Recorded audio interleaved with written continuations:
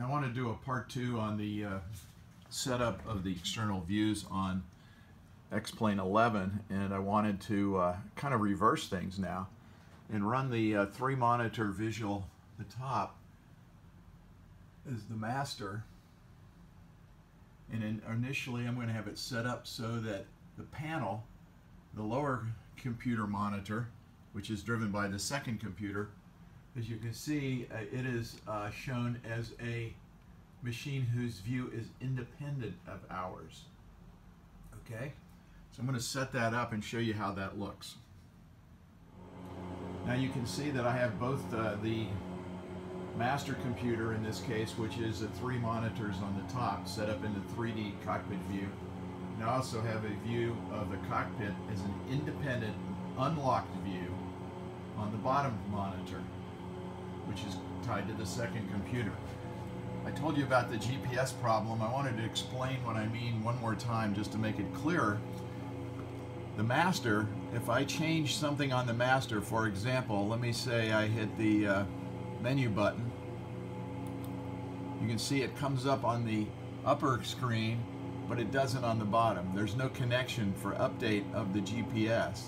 I'm going to hit clear, and you can see as I hit we're in flight plan, if I turn off flight plan, if I zoom, whatever I do, the only thing that really works is the frequency swapping. You can see if I change the frequency uh, with the swap button up here, it is also reflected in the uh, frequencies on the slave computer or the external view. So we have an external view that is independent of the view outside. Now I'll show you what that means. What that means is that if I take the mouse and adjust the view on the outside, you can see that. See how the view on the computer inside the cockpit or the external view is not being moved. Only the outside view is being moved. Now obviously we normally run this external view probably without any uh, uh, scenery uh, or we may, but in any case they're independent.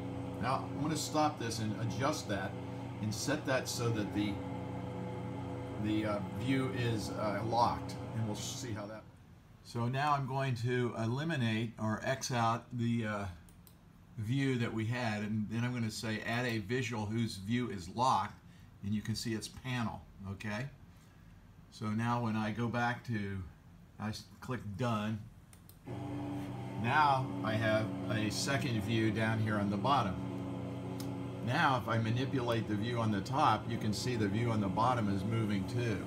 They're moving simultaneously. I don't know if that's clear from this perspective, but as you can see that if I look look around the cockpit, the view on the bottom one is being manipulated and moved also.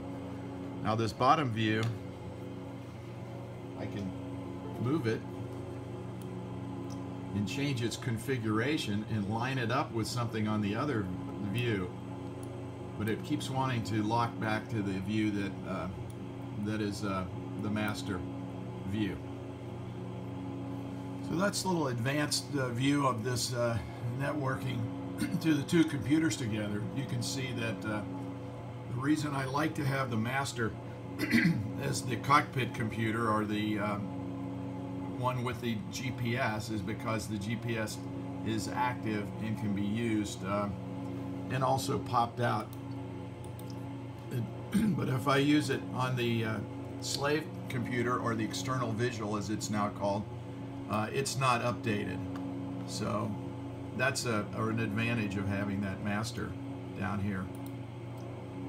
Okay, thank you that's about it. I just wanted to make that one point and show you for sure what it means to be locked. So now we think just in summary,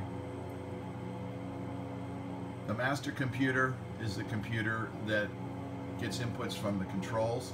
It's the master that controls the views of itself and any locked computers. The external view is can either be independent if that's the way it's selected on the master computer or locked to the movement of the master computer. I hope that's clear. Really not very complicated and X-Plane 11 has gone a long way towards making this very easy to use.